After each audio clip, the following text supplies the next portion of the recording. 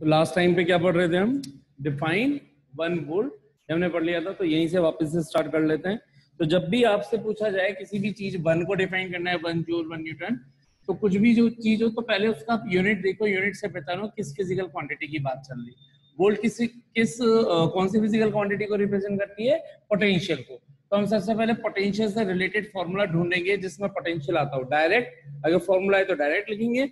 नहीं है तो उससे ऐसा कोई फॉर्मूला लिखेंगे जिसमें इलेक्ट्रिक पोटेंशियल शामिल हो। तो हमें पता है इलेक्ट्रिक पोटेंशियल का डायरेक्ट फॉर्मूला होता है तो हम लिखेंगे सिंस वी नो दैट क्या जानते हैं हम?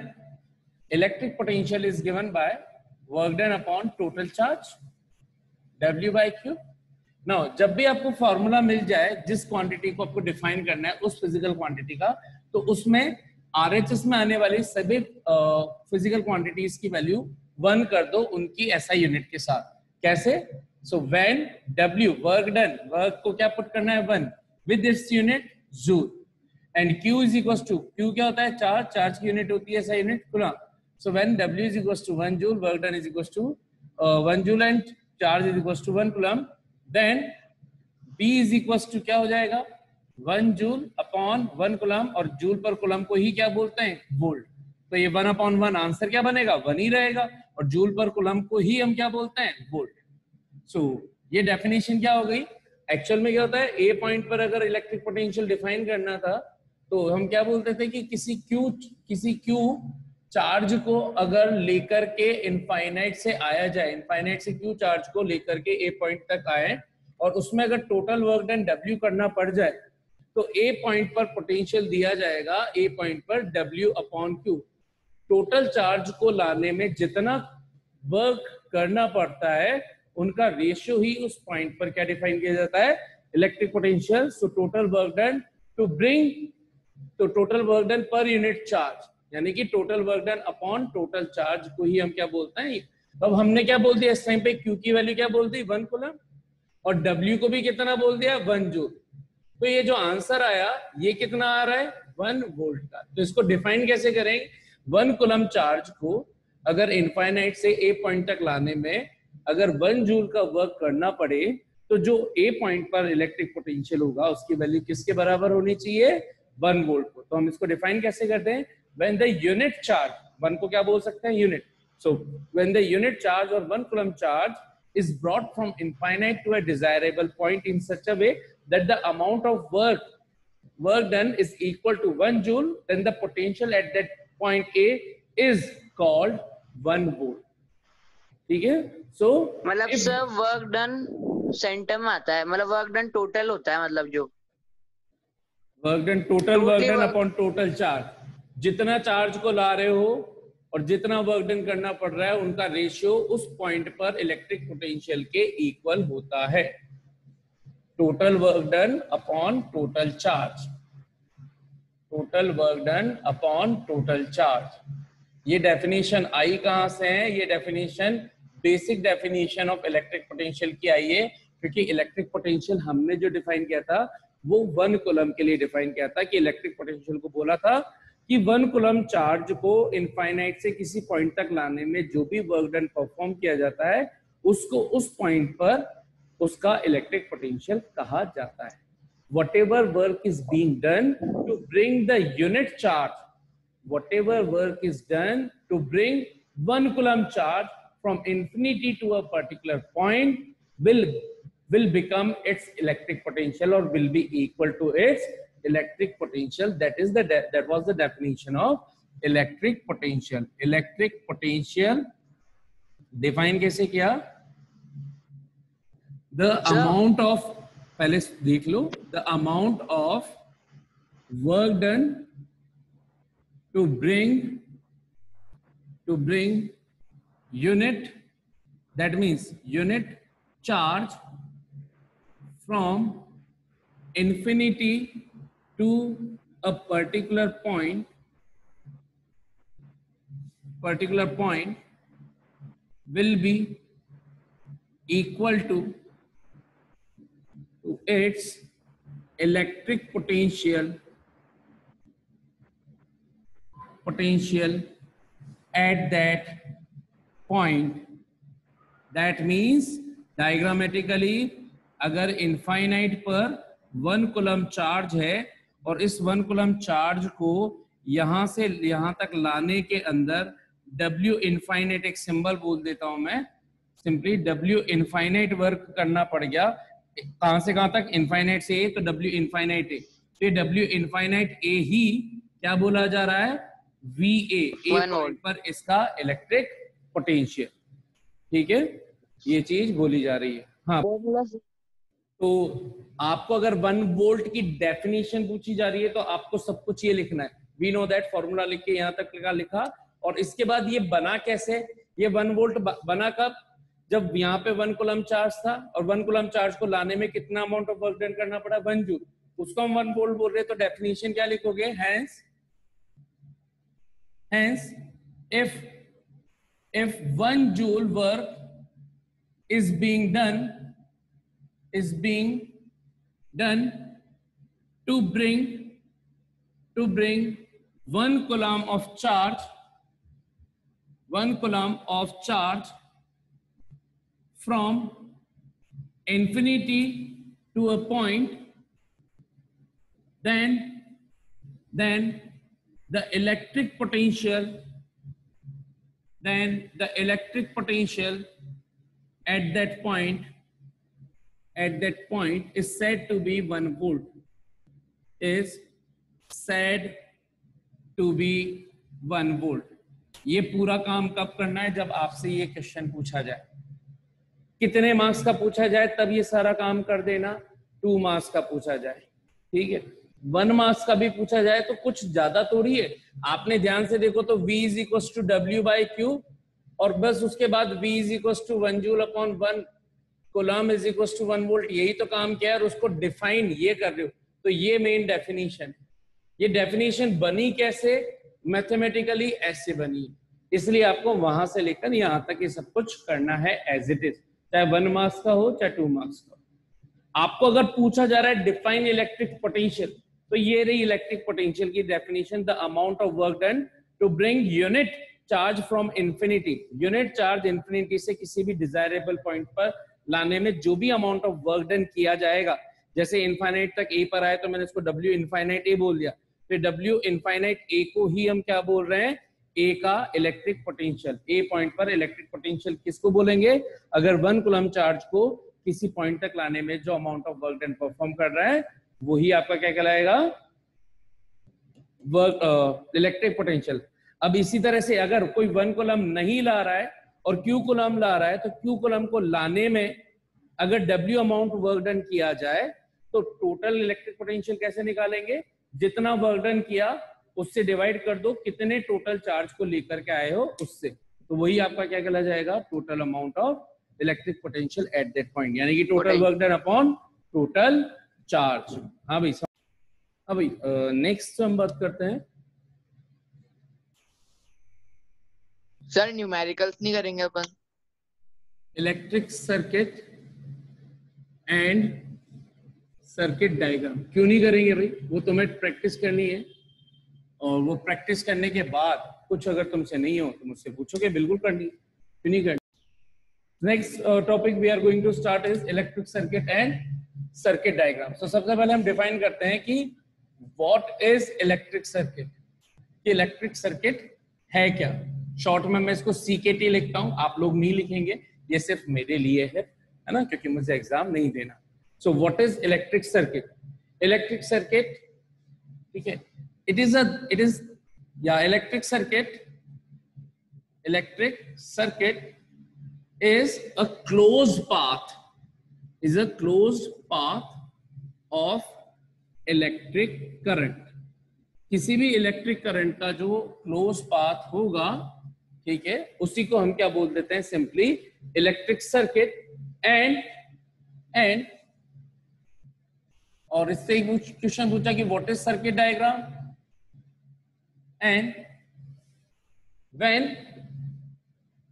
When this path this path this closed path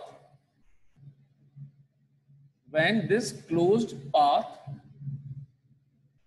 contains various electric component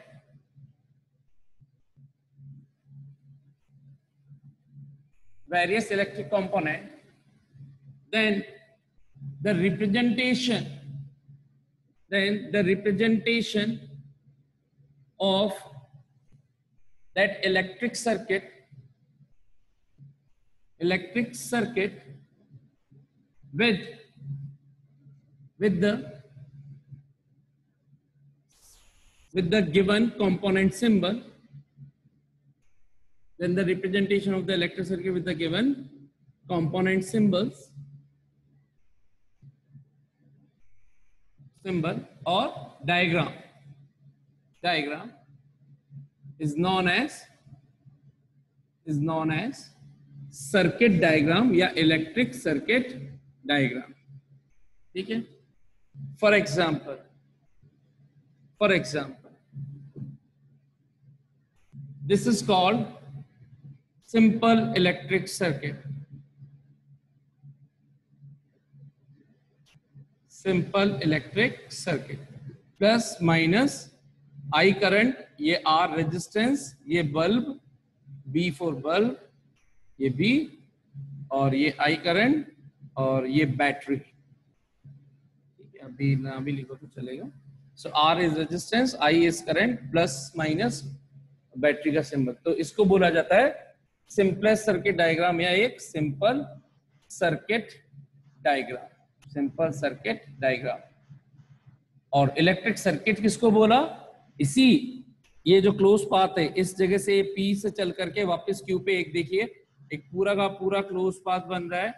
इधर से चले, इधर से चले और ये पूरा का पूरा क्लोज पाथ बन रहा है, जिसके अंदर करंट फ्लो हो सके। तो करंट फ्लो होने का एक कोई भी क्लोज पाथ अगर बन जाए तो उसको हम क्या बोलते हैं? इलेक्ट्रिक सर्किट और उसके अंदर ये जो कंपोनेंट्स को हमने डायग्रामेटिकली रिप्रेजेंट कर रखा है, ऐसे फॉर्मेशन के साथ इस इलेक्ट्रिक सर्किट को रिप्रेजेंट किया जाए किया जाए डायग्रामेटिकली तो उसी को क्या बोल दिया जाएगा? सर्किट डायग्राम ठीक है, ये जनरली एग्ज़ाम में आता नहीं है सिंपली समझने के लिए। एक अंडरस्टैंडिंग है, क्योंकि इसके बारे में अगर लिखाएँगे मतलब लिखा हुआ नहीं मिलेगा आपको तो आपको समझ में नहीं आएगा किसको हम सर्किट डायग्राम बोल रहे हैं। इस वजह से वर्डिंग्स लिखी हुई।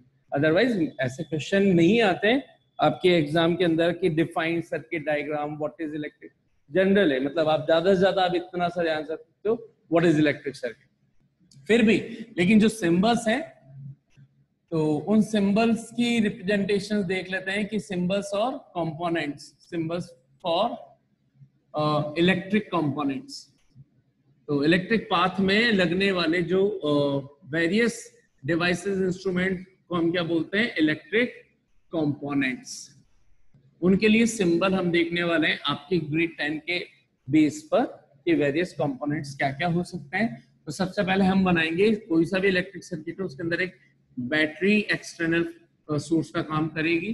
तो ये जो पहले सबसे पहले एक सिंपल बना देते हैं। तो ये प्लस और माइनस जो लॉन्ग साइड होती है वो हमेशा पॉजिटिव टर्मिनल शो करती है। बैटरी का, यानी कि आप इसको ऐसे मानेंगे। आपने घर के अंदर देखा होगा, एक पेंसिल सेल तो ये पेंसिल सेल का ये वाला पार्ट तो ये जो आगे निकला हुआ रहता है, ये है पॉजिटिव और ये जो पीछे वाला होता है नेगेटिव तो ये क्या कह रहा है आपका?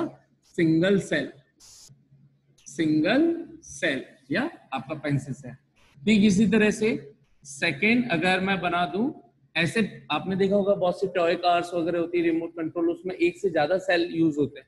तो उसके सेल्स के कॉम्बिनेशन को ही बोलते हैं हम क्या?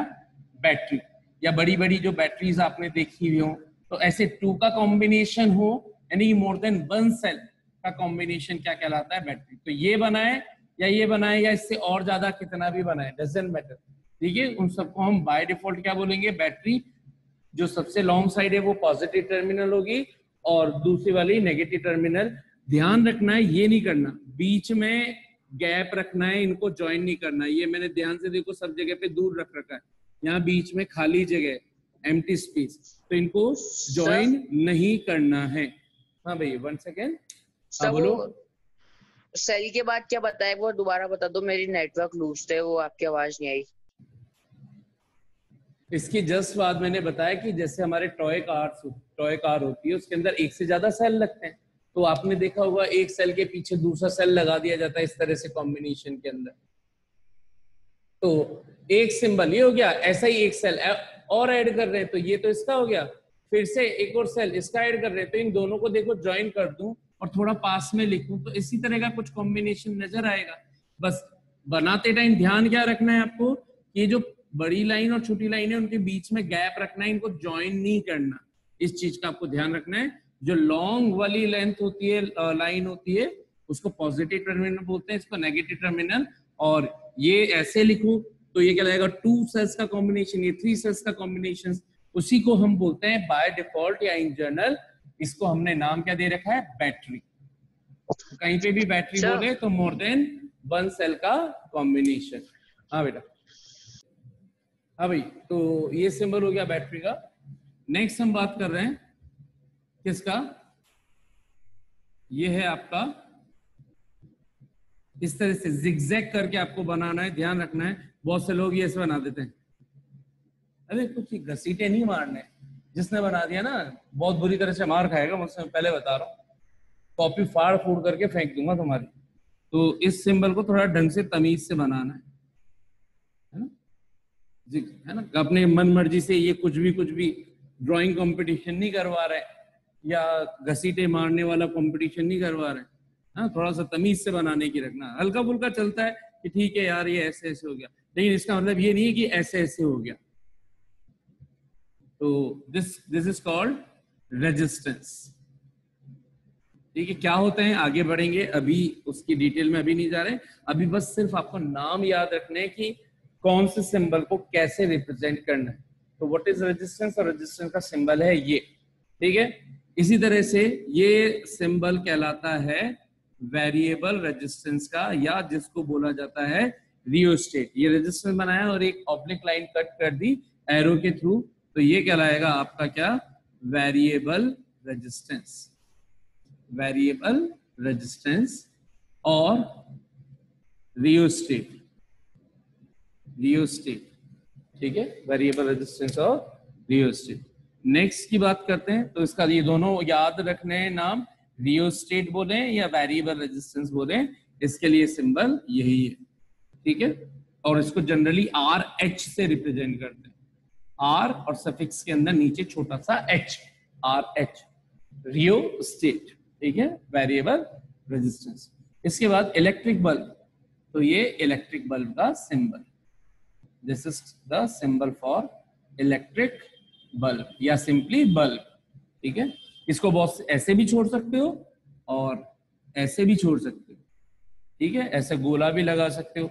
ग्लो का करना है तो आप इस पे इस तरह से ग्लो जैसे सन के लिए करते हैं, ऐसा। तो ये बताएगा कि bulb is glowing right now और बिना उसके करोगे तो ऑफ़ और बाय डिफ़ॉल्ट ये इलेक्ट्रिक बल्ब का सिंबल फिर इसके बाद अगर केवल आपको ये दे रखा हो, कोई सा भी वायर ऐसा हो, ऐसा मुड़ा हुआ हो, ऐसे जा रहा हो, यानी कि जो एक पॉइंट से चले और बीच पॉइंट में अगर कुछ भी अगर अलग से कहीं पे भी कहीं कुछ और चीज़ें ऐड ना हुई हुई सिंपली घूमा हुआ है। घूमा हुआ है तो ये भले ही शार्प टर्न हो, लेकिन इससे एक्स्ट्रा कोई चीज़ अगर जुड़ी हुई नहीं है, बाहर नहीं निकल रही तो ये क्या कहलाएगा आपका? Single conducting wire single wire और क्योंकि हम इलेक्ट्रिसिटी के अंदर काम में ले रहे हैं, इसलिए it should be conducting wire non conducting का कोई यूज़ ही नहीं है इलेक्ट्रिक सर्किट के अंदर। सो सिंगल वायर जैसे कॉपर वायर होता है, ये कॉपर वायर है, या ये मान लीजिए, जैसे ये तो इसमें तो भी क्या चढ़ी हुई है हमारे पास? कोटिंग चढ़ी हुई है प्लास्टिक की, इसके अंदर वायर निकलेगा। तो इसको मैं ऐसे मोड़ दू, ऐसे मोड़ दू कहलाएगा ए से। यहाँ से यहाँ तक ये सेम है, ऐसे मोड़ दू, ऐसे मोड़ दू, ऐसे मोड़ दू। तो ये सब खींचने के बाद अगर पूरा एक जैसा दिखे तो क्या कहलाएगा? सिंगल वायर ठीक है?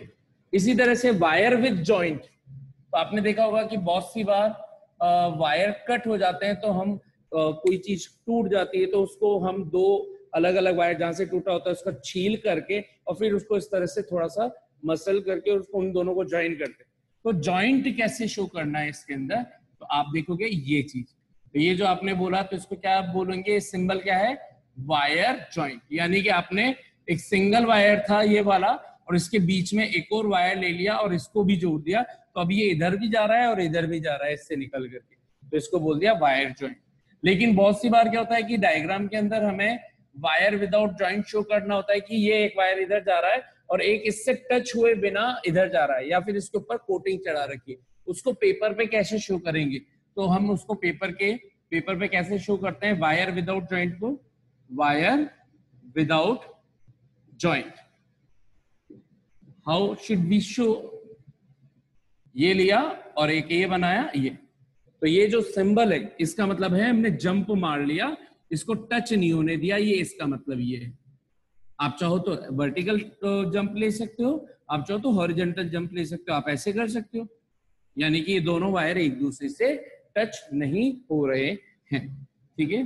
सो so, ये आपके uh, कुछ सिंबल हो गए और उसके अलावा कुछ इंस्ट्रूमेंट होते हैं जिसके थ्रू हम इलेक्ट्रिसिटी को मेजर करते हैं अलग अलग टर्म्स में। तो अगर इलेक्ट्रिक करंट को मेजर करते हैं जिस डिवाइस से उसको बोलते हैं अमीटर और उसका सिंबल होता है ये।